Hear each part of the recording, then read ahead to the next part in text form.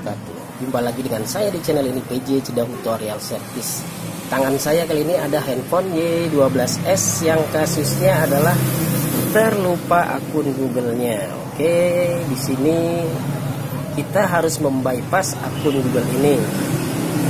Terlihat di pojok eh, atas handphonenya ada tanda gambar gembok. Artinya handphone ini masih terkunci oleh akun Google yang sebelumnya ada di handphone ini. Berhubung kasusnya adalah kita lupa pola dan lupa akun Google-nya, artinya kita harus membypass uh, akun Google-nya. Oke, di sini terdapat keterangan perangkat ini telah direset untuk melanjutkan kita harus memasukkan akun Google yang sebelumnya tertaut di handphone. Oke, bagaimana langkahnya? Sebaiknya kalian simak dari awal sampai dengan selesai. Kita kembali dulu. Oke. Di halaman pilih jaringan WiFi, kita tambah jaringan. Oke, di sini kalian tuliskan www.youtube.com. Oke, www.youtube.com lalu kalian tekan dan tahan Baik tampaknya untuk masuk link ini kita tidak bisa melakukan trik ini. Artinya di sini saya coba untuk masuk ke link youtube.com tapi tidak ada pilihan share linknya. Oke, kita cari celah yang lain. Baik di halaman menu pilih jaringan kita coba cari celahnya agar kita bisa masuk ke halaman pengaturan kalian tekan yang saya ulangi kalian tekan tanda mikrofon di atas uh, keyboard ini. Oke di sini ada keterangan kita allow. Secara otomatis kita masuk ke uh, aplikasi info. Oke di sini selanjutnya kita kita menuju ke izin permission. Oke di atas kita pilih tanda pencarian. Di sini kita masukkan setting. Atau kalian membuat, menggunakan bahasa Indonesia, kalian bisa ketikkan setelan. Oke, selanjutnya kita pilih Oke, di sini ada pilihan setelan, kalian pilih yang ini. Setelan app info yang abu-abu. Baik, setelah masuk halaman ini kita pilih uh, open. Oke, di sini kita cari selanjutnya uh, shortcut dan aksesibilitas. Oke, kita pilih accessibility. Kita pilih accessibility menu lalu kita hidupkan. Kita klik allow. Oke terlihat di pojok bawah ada menu aksesibilitas. Setelah terbuka menu aksesibilitas ini kita kembali lagi kembali kembali kembali lagi. Oke kita kembali. Baik di sini terlihat ada uh, menu aksesibilitas sudah hidup. Oke kita setup ulang. Tunggu sebentar. Sini masih diminta untuk uh, memasukkan pola. Kalian ketuk menu aksesibilitas ini. Oke.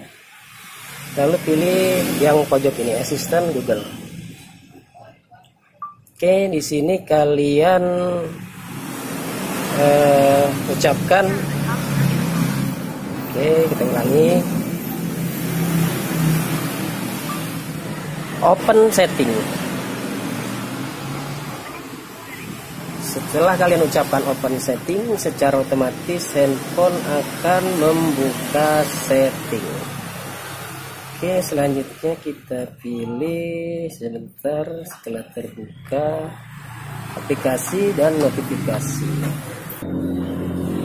Baik selanjutnya setelah masuk menu ini di sini kita klik si all aplikasi. Kita ketuk titik tiga kita sound system oke di sini pertama eh, kalian pilih Android setup. Ketik disable disable lalu post stop. Oke. Kembali. Bawahnya juga Android setup. Kita post stop juga. Oke. Okay. oke satu lagi lalu kalian pilih Android system post stop oke. Okay.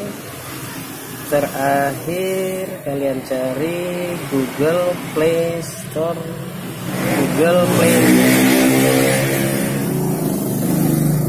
Scroll bawah Google Play Service. Google Play Service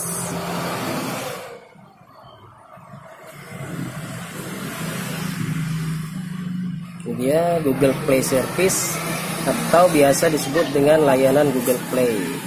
Jadi kita ketik disable disable lalu force stop. Oke. Okay. baik selanjutnya kalian kembali. Kembali kembali kembali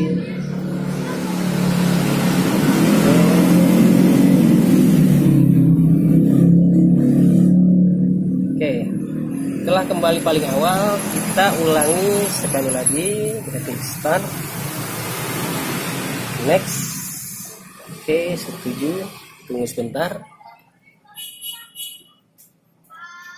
Apakah sekarang kita bisa melewati uh, Google Play Service terlihat di sini Google Play Service tidak berfungsi. Kembali sini ada pilihan setup offline kalian pilih setup offline lalu ketuk continue. Oke okay, next. Untuk pilihan kayak keamanan skip. Oke okay, next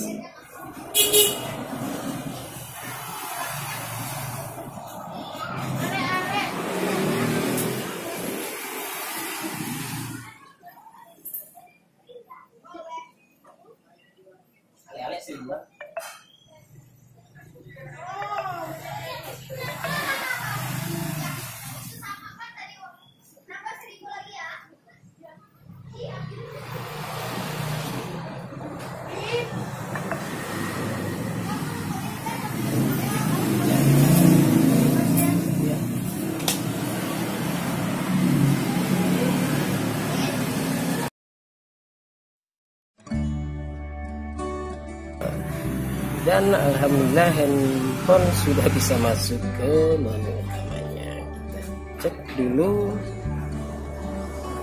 Oke sistem. Kita hidupkan kembali Google Play Service-nya. Google Play Service ini kita enable. Oke. Sudah handphone sudah kembali normal. Seperti biasa. Vivo Y12s 2021 dengan 3 patch keamanan. Ada di Android 11 Oke demikian dari saya. Semoga bermanfaat dan ingat selalu pesan saya jangan lupa bersedekah. Sampai jumpa di video saya selanjutnya Wassalamualaikum warahmatullahi wabarakatuh